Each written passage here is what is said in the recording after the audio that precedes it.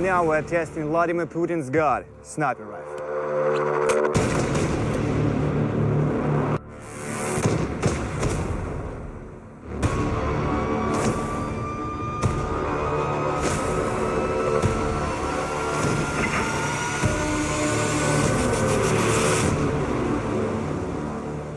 Leaders of the world are protected by the best snipers of their country, and Russia is no exception to that.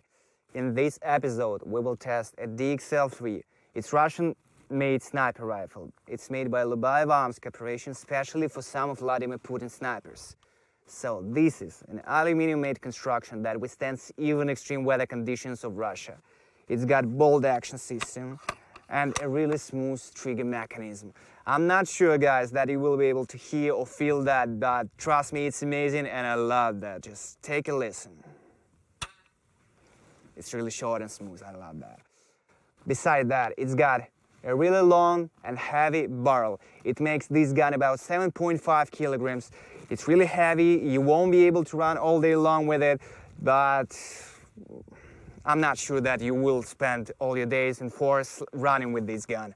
So how powerful this gun is and how far it can destroy its targets, we will see today at our shooting range.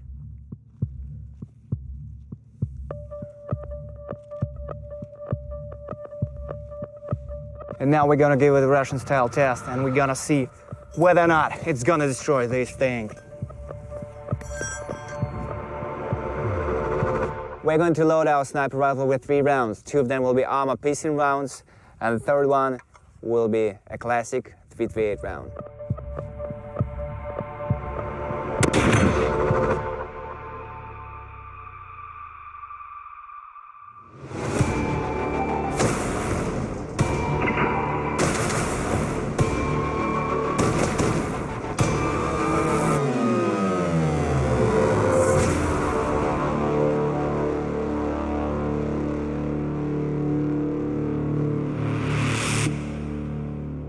And for our third shot, we place the rail on side to hit the top of it.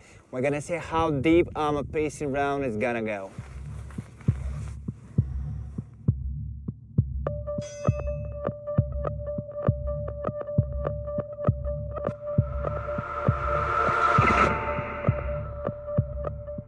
Here we got the results of our experiment.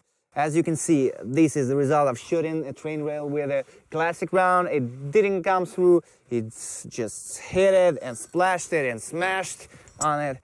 But the strike force of the bullet even destroyed the back of it. That's interesting, but what I liked that our armor piercing bullet came through, it penetrated about two centimeters of a real steel and the top of the bullet came through, but the core of it stayed inside. I'm talking about the top of it, well, just take a look. It came about a centimeter deep, and the bullet stayed inside, it didn't come out.